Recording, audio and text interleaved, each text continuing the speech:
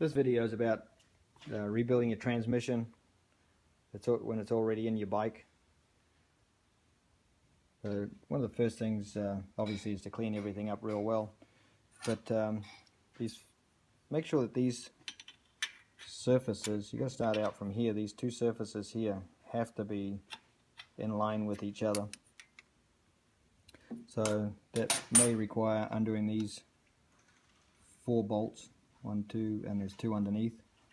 And this one here you may have to jack up the motor a little bit so allow this to float. But um, it's really important to start from square one and these two flanges have to be in dead alignment with each other.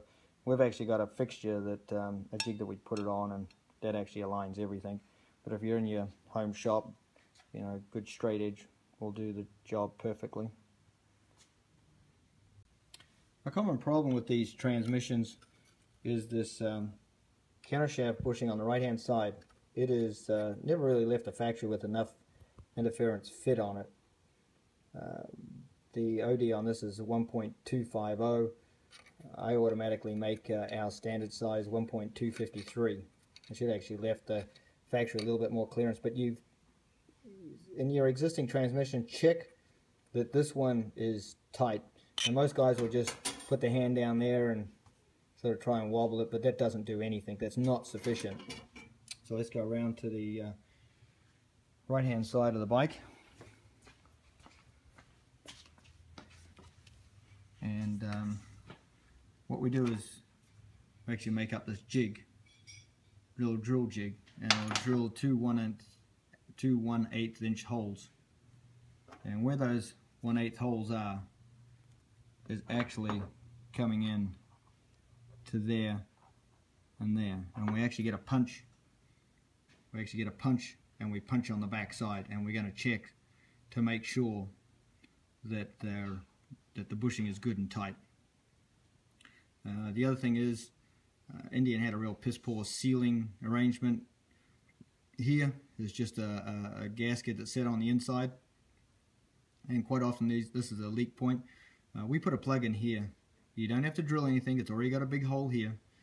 Just uh, get an eighth inch pipe tap, so it's one eighth pipe tap, and then tap this hole and get your plug and tap this hole. Uh, you're gonna have to go backwards and forwards, like check the check uh, uh, the depth because you don't want this plug going too far in. It's just got to be flush with the inside of the uh, trans case Otherwise, it's going to push on the end of the counter shaft, and that's bad. So um, you, you're going to have to thread it for a little bit, get your plug, check how you screw it in, check how far it goes in. Not deep enough, tap it a little bit more, but the last thing you want to do is go too deep on this one. And then afterwards, you can just get some uh, two-part epoxy uh, and uh, fill up these holes, these two uh, holes, punch holes and um, you're good to go. You won't have any uh, oil leaks. But this this plug here is uh, an upgrade that we come out with a long uh, a while ago, and that way we don't get any chance of any oil leak. Because uh, if it does leak out of here with the stock setup, it's a major ordeal. You got to pull the whole transmission apart to do it, and the likelihood of a leak out of here is extremely high.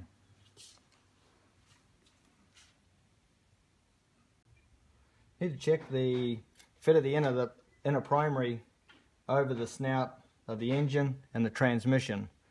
Uh, sometimes these are a little bit too far in and um, sometimes it's a manufacturing tolerance on the primary covers. So what you can do is with the sanding gun just come in there and take some material off there. Don't get too serious. Just take enough little by little and come back and check the fit till it's just nice and snug like so. Here we're going to show the installation of the generator drive bearing and seal and the inner primary cover which is an upgrade from the original bushing. The original had a bushing in here. Um, you can actually see there's got a helicoil helical uh, oil groove in there.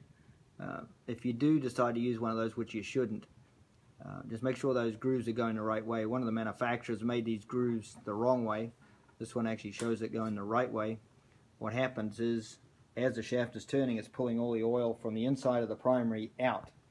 Uh, so there's already quite a few people with uh, with those installed into their primaries that are uh, experiencing oil leaks. It's quite a major job to redo it. You got to pull the whole tranny apart to do it. But this is the bearing and seal upgrade. Uh, first off, we put a bevel on the inside of the hole and that uh, facilitates easy uh, seal installation. But the bearing, there's two sides to the bearing. There's a radius, see a radius on here, and then there's the flat side.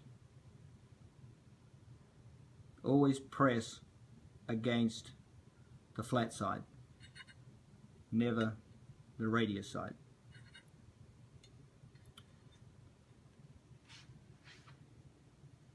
We're going to press against the flat side of the bearing. We've uh, put some already put some light oil on the inside of the bore. Uh, don't ever tap bearings in, they need to be pressed. So don't be getting a hammer and punch or anything like that. Push down the arbor press. That's nice and flush with the top.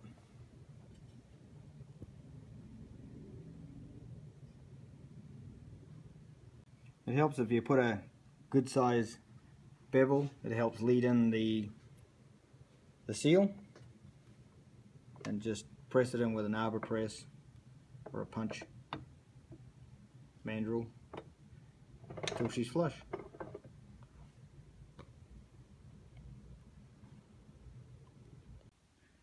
Originally Indian didn't have any gaskets between the uh, engine flange and the transmission flange. Um, about 20 years ago we come out with some gaskets only made sense. Uh, they just used a, a, sealant, maybe not even anything, but it was a source of an oil leak. So we come out with these gaskets. Since then we've worked with um, James gaskets to come out with a really, really bitchin' gasket.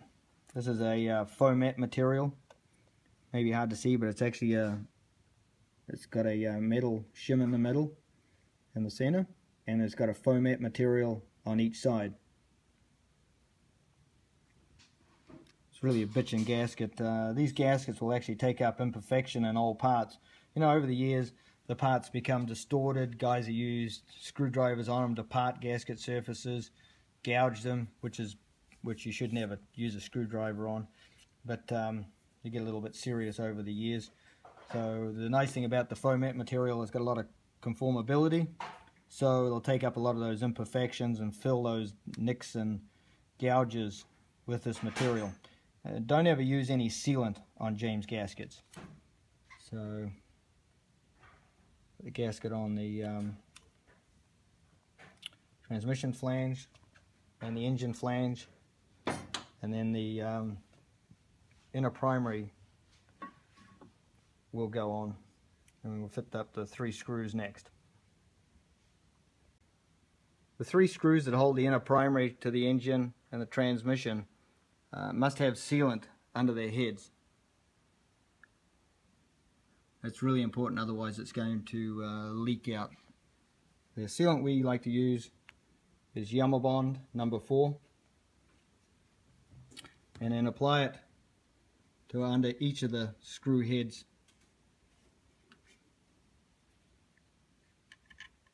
and then fit her in. Just make sure you put plenty under it, clean it off afterwards, make it look nice and neat.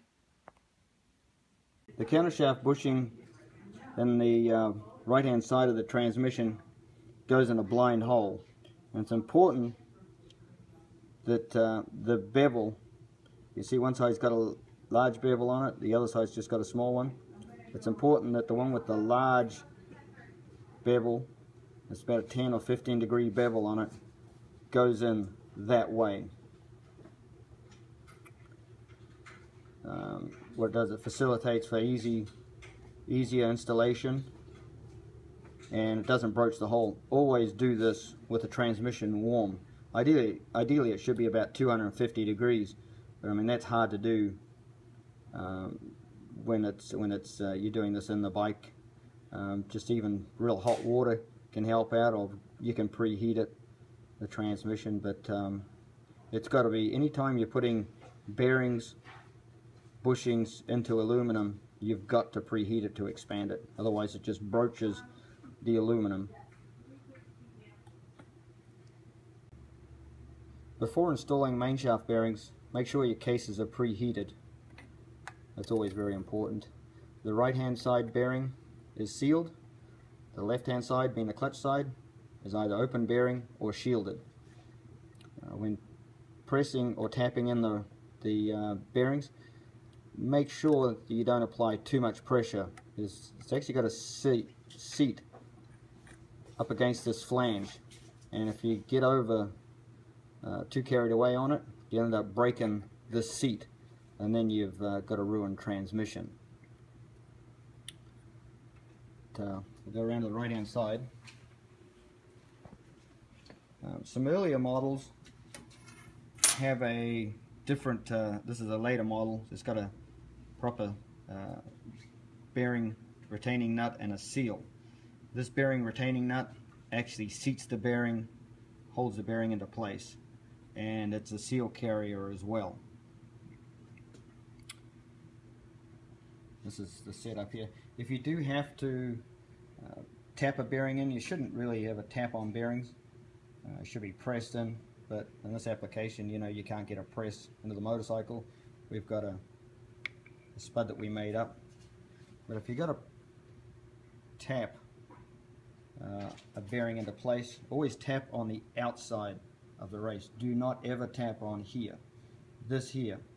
Um, technically you should not use a brass drift, you should actually use mild steel. Nothing hardened, not a punch, uh, hardened punch, but uh, uh, um, something in mild steel. Uh, the reason being you use steel is one, it's, it's softer than the bearing race and um, it doesn't leave chips like brass. Brass will actually uh, chip and then it can get into the bearings, the balls themselves. So this is the upgrade. This is the bearing retaining nut here and this seal presses into there and we've got another spud that presses it in just below these little installation uh, tool marks and this is the output collar. The I always advise upgrading to the bearing and seal. It gets a little close on uh, 39 and earlier models. In the output is narrower. Sometimes you, before you even start, just do a dry installation of this without the seal.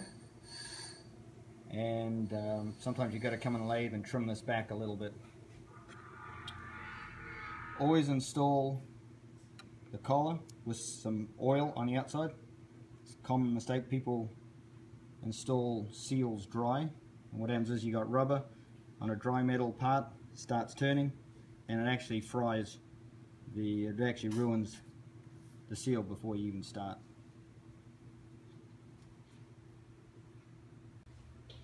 Check the clutch sprocket studs are tight. Uh, these are riveted into the clutch sprocket themselves and uh, they do once in a while come loose. This particular one's got two that come loose.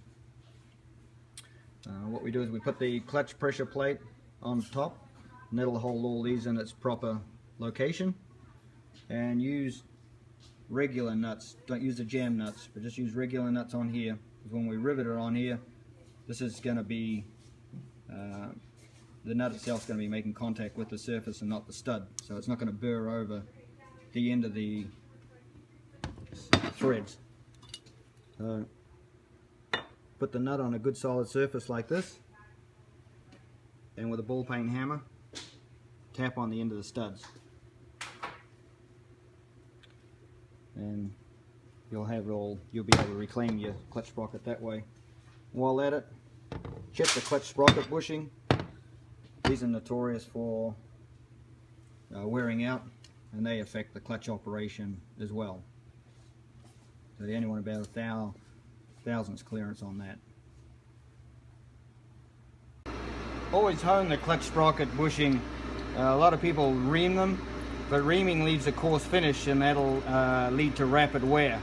So always hone the bushing and we'll give it a nice fine finish. While at it, check the sprocket driver gear bushing for clearance, also known as the output gear. Uh, this one has to have adequate clearance on it, at least a thousandth and a half. Otherwise what will happen is this will lock up on the main shaft. It sort of sits high up in the transmission and it doesn't get a lot of lubrication. So clearance is really important here.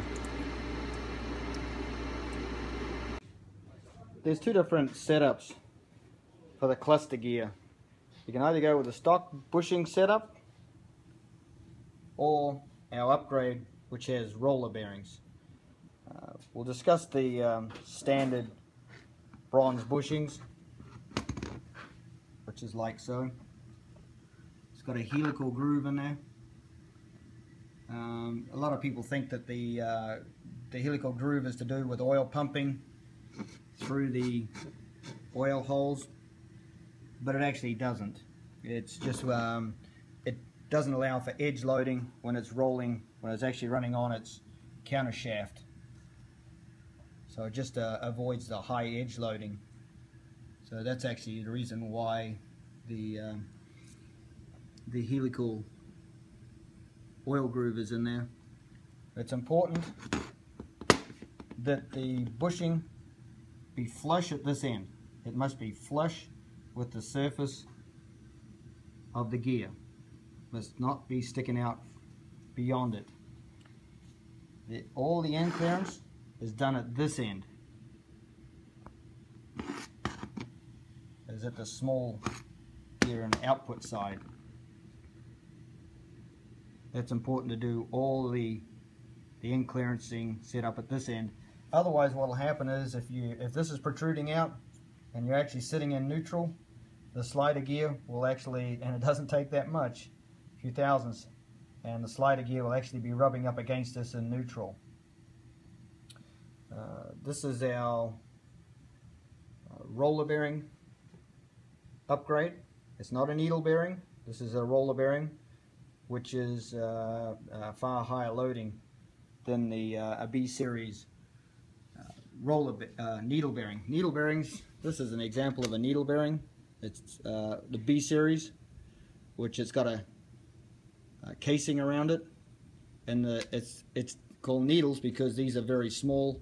They don't take much loading. This bearing setup here, the roller bearing setup that we come up with a long time ago, and we tested this out extensively on sidecars because sidecars are really really hard on bushings.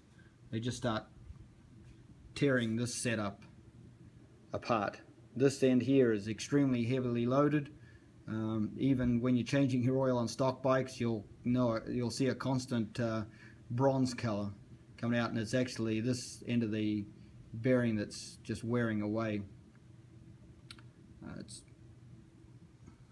so the setup here is one roller bearing this end. The output end takes two. depends what gear you got. There's this spacer that'll go on this end. And or if you've got uh, a stock type gear setup this is the spacer that's used for that. So you'll use one or the other. Generally it's that setup there. And the way to get the end clearance is going to be with these thrust washers. It comes with a selection of thrust, thrust washers. So no matter what setup you got you'll be able to accomplish your end float with that Once the cluster gear bushing has been sized, or if you're using the uh, bearing upgrade, you have to set the side clearance on the cluster gear. This side clearance is to be between 5 and 10 thousandths of an inch. This one here is rather excessive. So the uh, bushing on this side of the gear, this end of the gear, has to be flush with the surface and all the end clearance is done at the right side, the small gear end. First part of the transmission assembly is drop the cluster gear all the way into the bottom of the transmission. So don't put the counter shaft in, you're just dropping the cluster gear so it sits all the way into the bottom of the transmission. Now inspect your splines, make sure they're in good condition. See these ones, this one here is like brand new. This one here's got a lot of use on it. The sprocket has become loose and it'll, you don't go ahead and use that one because it'll actually get worse and worse and worse. It'll just slog out. So make sure the splines are in good condition. Now put the sprocket driver gear through the bearing. A little bit of oil on the um, on the gear snout itself and that'll aid it going in. And next up, put the collar on and put a little bit of oil on the collar so it doesn't burn up the seal. And we're going to put the sprocket and the nut on. And then that'll hold, capture all this over to the right side of the transmission case. We're going to be setting up the main shaft end clearance so we want to make sure that everything's captured and locked in here nice and tight. When you're doing things, always double check your work. Here's a classic case where the sprocket goes on, it's tight, and you can see how much wobble and everything. You actually have a look in at the sprocket driver gear, and that sprocket is and nut is on tight.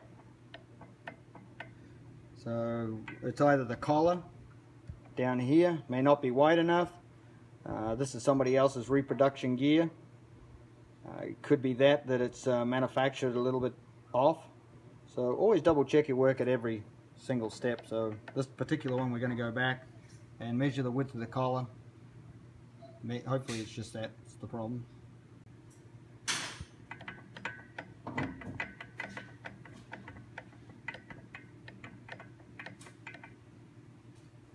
Apply some blue Loctite to the sprocket driver gear threads. And then we'll go around the left side of the bike. And we've got to lift the cluster gear up. So you have to get your hands on there, lift the cluster gear up, and then drop in the counter shaft and the snap ring. Always make sure that that snap ring is seated properly. It's very, very important. Uh, these things, uh, we've seen them where they have not. The counter shaft will work its way out and uh, just take out your transmission.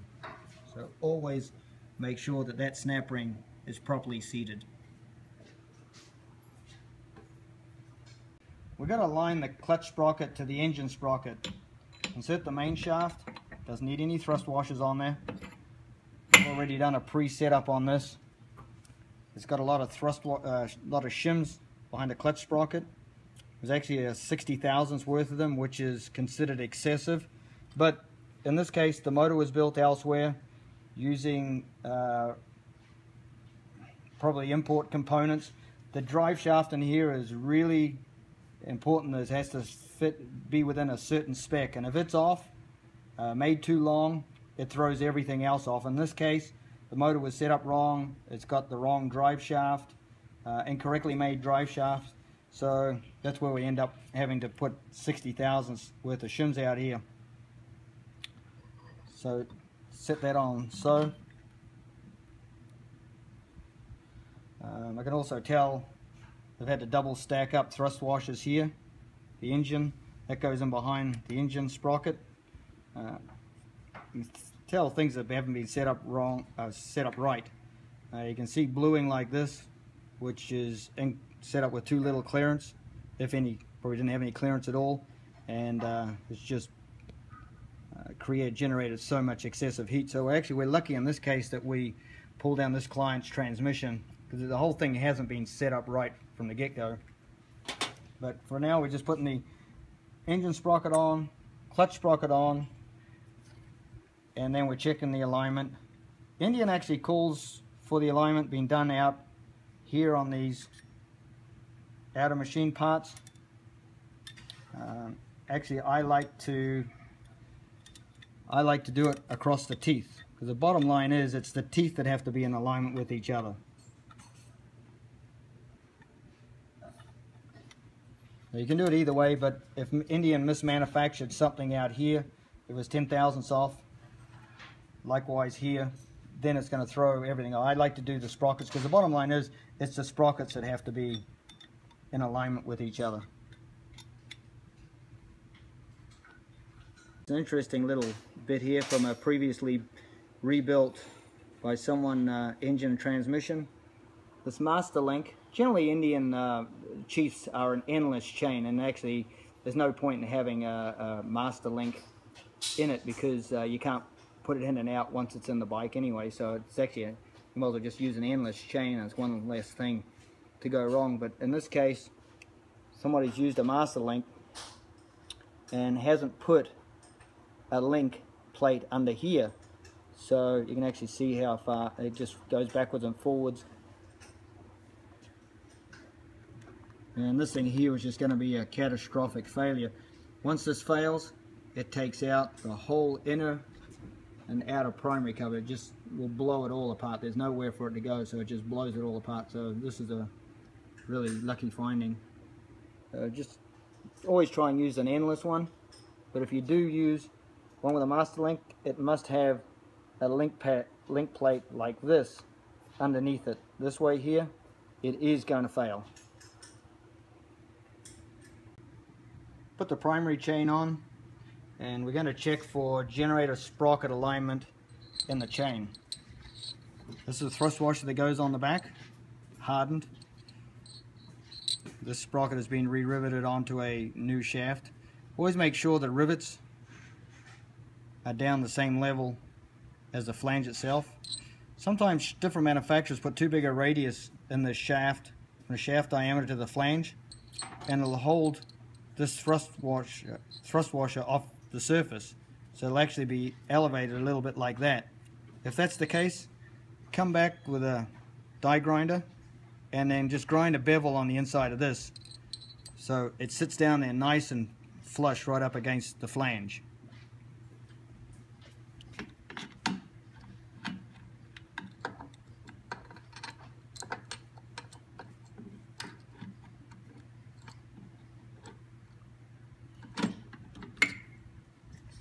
So make sure they're all seated.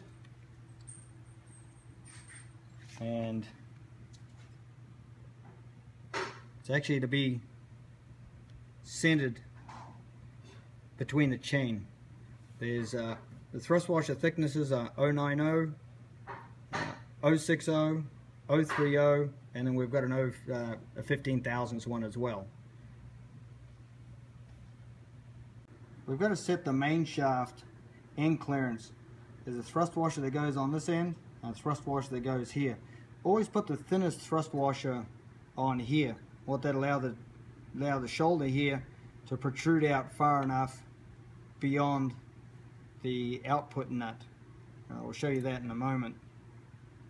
But um, this particular one, uh, we had to gang up two thrust washers at this end because it's got one of these Chinese or India made crappy drive shafts the guy is uh, installed. So we're having to work around that.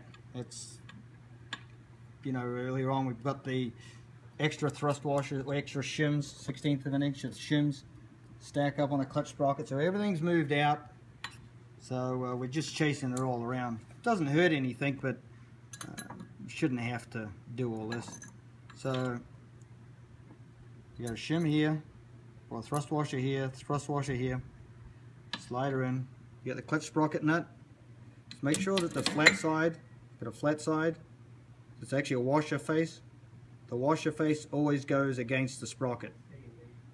That's the open regular side. But this one here, the washer face always fits up against the clutch sprocket. Slide it over the main shaft. In she goes.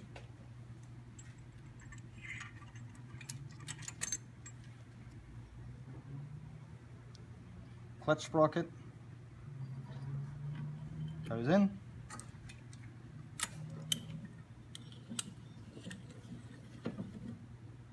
And this is a special tool we made up. It's got double hexes in here that allow for fine adjustment. When we actually get the final final installation, we're actually going to use a hammer and cold chisel. As brutal as that sounds, it has to be tight. Otherwise it will come loose. So if you use a tool like this, this tool is great for just general installation to get it tight. But the final tight has to be done with a uh, hammer and cold chisel and a lock washer under here as well. But we're just using this for fitting up purposes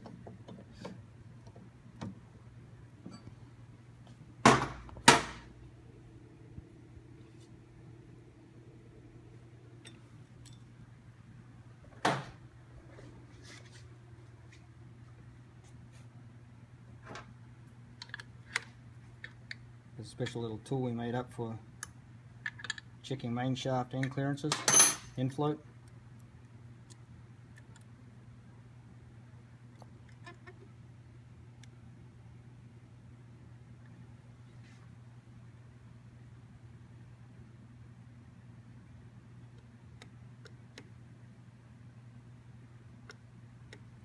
So what we're looking for is between 5 and 10 thousandths. Actually, probably cut this one down a little bit.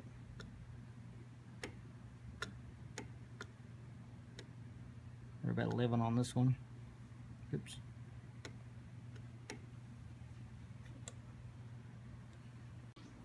The reason why you put the thinnest thrust washer, main shaft thrust washer up this end of the main shaft, the right side, output side, is because this shoulder here is to protrude beyond the surface of the nut. It's really important. What you've got is you've got a kickstart cup washer and it sits on there. It's got to sit on that shoulder. If it isn't shimmed right in the transmission, this cup washer sits on the nut. So what happens is when you go to start the bike up, the bike starts up, the kickstarter usually stays down or either a bounce up and down and uh, it's called you'll hear bad clunking noise that's the kickstarter we call kickstart ratcheting. We have another fix for that but whenever you're doing a transmission always make sure that this shoulder is protruding out beyond this nut. Originally the engine sprockets had a cork in here. Whenever we do a motor we upgrade this to a seal in here. A little bit hard to do it after in this case. But uh, the cork washer I've actually um, found it doesn't do anything so I don't even bother putting it in. I haven't put them in for 20 years and haven't noticed any difference whatsoever. Uh, you got to be careful with the cork washer because if you do use a cork washer it actually has to be sanded down so it's just proud of the surface of the sprocket. Otherwise it'll lock up a motor so for safety wise you're just better off not to use them. Uh, I've seen more more problems created from them than what it's worth.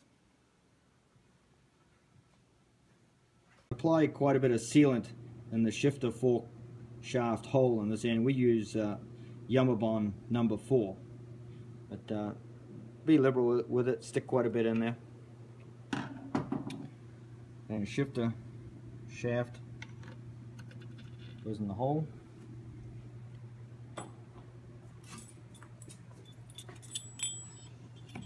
Shift the fork in the slider gear. Small gear goes to the left, clutch side. Slide it through.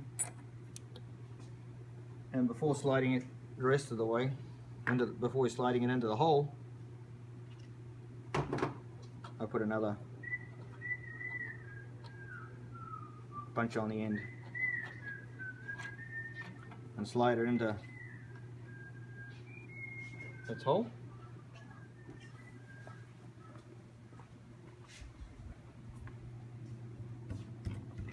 Tap her all the way in.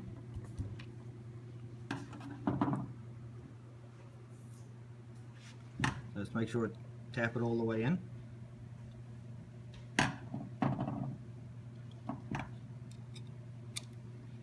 Put the shifter fork plug in here, but before you do, apply some uh, blue Loctite. Uh, it's really important that this does not come out. If it comes out, it uh, it will get into the primer and jam everything up and lock up the back wheel. So it's really important. Use some blue Loctite. Don't have to use impactor, but still pays to get it tight and then with a dot punch or center punch.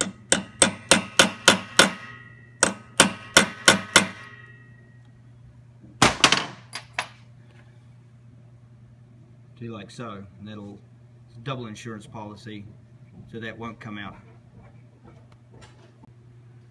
These two 9 16 diameter ports here, these are what transfers the oil from the primary case area through the transmission. So when you're pouring it in here, what happens is it goes down and then migrates through these two ports in the transmission. For that reason, it's important to pour the oil in slowly because what can happen is it'll back up and then come out the level plug out here and give you a false indication of it actually being full. So uh, some guys uh, separate the primary from the transmission. Um, I, I, don't particularly like that. Today we've got synthetic oils, so um, it does actually a, a, more than adequate job of lubrication to the gears and is still friendly to the clutch. So that's uh, utilizing today's synthetic oils. But um, if I've seen more problems with people separating the transmission and the primary, it makes the transmission oil level a lot harder to check a lot it's real inconvenient so therefore you don't want to do it. And what happens is you don't have the reservoir so you don't have as much in the transmission.